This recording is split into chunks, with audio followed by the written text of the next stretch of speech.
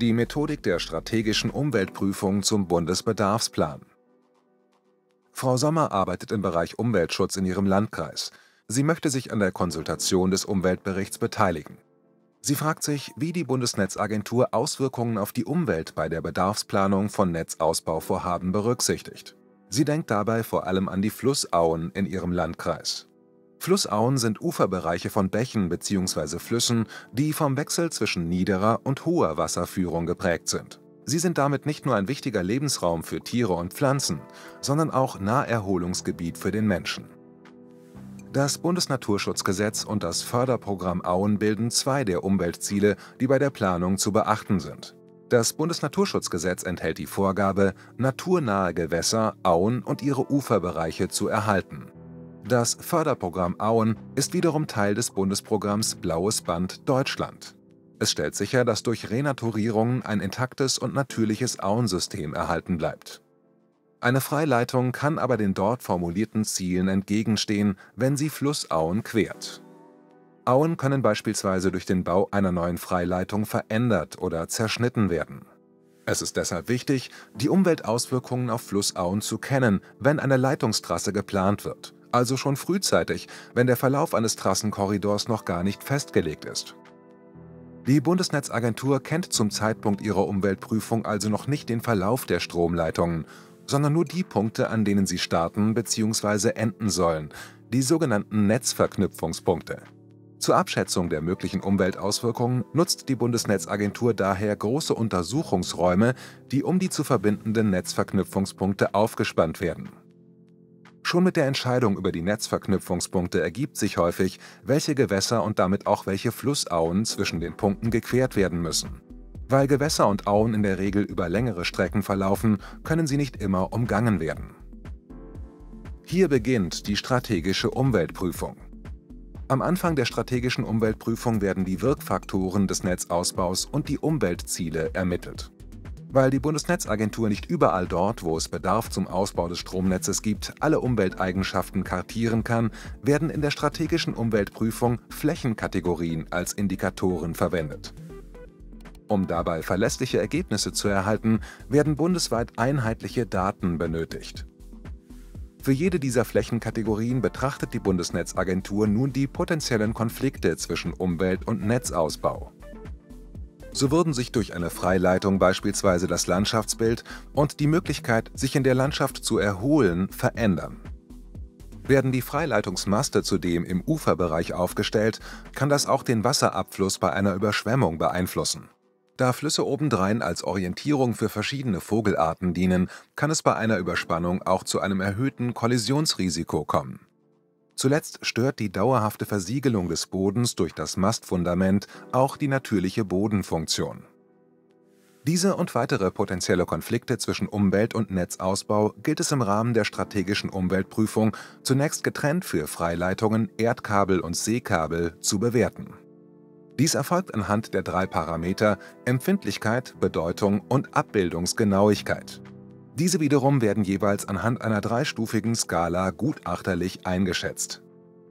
Wir betrachten im Folgenden beispielhaft einen potenziellen Konflikt beim Bau einer Freileitung durch eine Flussaue. Durch den Bau der Freileitung kann es zur Zerschneidung oder sogar zum Verlust von Lebensräumen kommen. Der Parameter Empfindlichkeit wird in diesem Beispiel daher mit hoch bewertet Flussauen sind in Deutschland nicht direkt rechtlich gesichert, sondern nur im Wege anderer Schutzgebietsausweisungen. Sie erfahren allerdings eine gewisse gesellschaftliche Würdigung, daher wird der Parameter Bedeutung hier mit Mittel bewertet. Mit der Flächenkategorie und den zugrunde liegenden Daten kann die Bundesnetzagentur die potenziellen Konflikte sehr gut abbilden. Daher wird die Abbildungsgenauigkeit mit Dreifach Plus bewertet die drei Parameter werden für jeden Konflikt zu einer Einschätzung zusammengeführt. Diese bezeichnet die Bundesnetzagentur als Konfliktrisiko. Die Bewertung erfolgt diesmal anhand einer vierstufigen Skala. Auf diese Weise wird für alle potenziellen Konflikte das Konfliktrisiko bestimmt. Anschließend werden diese Bewertungen der potenziellen Konflikte wiederum zu einer gemeinsamen Risikobewertung für die Flächenkategorie Flussaue zusammengefasst es ergibt sich für unser Beispiel Flussaue insgesamt ein hohes Konfliktrisiko und damit der zweithöchste Wert. Was bedeutet das nun für unsere Leitung? Zur Erinnerung, der genaue Verlauf der Leitungen steht noch nicht fest. In einer deutschlandweiten Karte färbt die Bundesnetzagentur die Bereiche der Flussauen entsprechend ihrem hohen Konfliktrisiko farbig ein. Dort, wo Flussauen liegen, bekommen die Rasterzellen den Wert 3 bzw. die Farbe Orange. Auch alle anderen Flächenkategorien erhalten hier eine Farbe, die ihr Konfliktrisiko anzeigt. Das reicht von grün, also gering, über gelb und orange nach rot, also sehr hoch.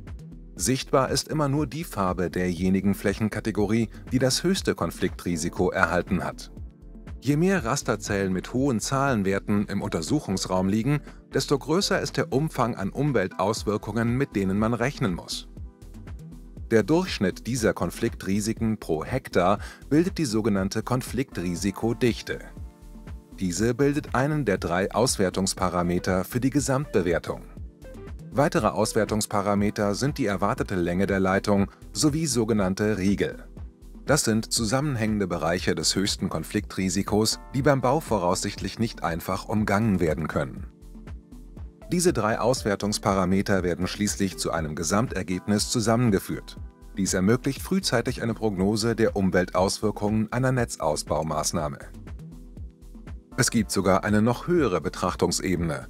Führt man die einzelnen Gesamtbewertungen zusammen, kann auch die gesamte Netzplanung in Hinblick auf ihre Umweltauswirkungen bewertet werden. Doch zurück zur Maßnahmenbetrachtung. Oft gibt es mehrere Möglichkeiten, einen Engpass im Stromnetz zu beseitigen. Bei der Entscheidung für oder gegen eine Alternative müssen auch die möglichen Umweltauswirkungen bedacht werden. Die strategische Umweltprüfung macht diese Umweltauswirkungen vergleichbar. Dadurch ist es möglich, Leitungsalternativen aus Umweltsicht gegenüberzustellen. Die Prognose der Auswirkungen des Netzausbaus auf die Umwelt ist eine große Herausforderung. Die Prüfung durch die Bundesnetzagentur erfolgt sehr früh, noch bevor feststeht, ob und wo eine Leitung einmal verlaufen wird. Dadurch ist die Planung häufig sehr abstrakt, was die Prognose erschwert. Mit Ihren Hinweisen im Rahmen der Konsultation können Sie der Bundesnetzagentur helfen, ein realistisches Bild der potenziellen Umweltauswirkungen bei Ihnen vor Ort zu bekommen. Wie und wo Sie sich beteiligen können, lesen Sie in der Videobeschreibung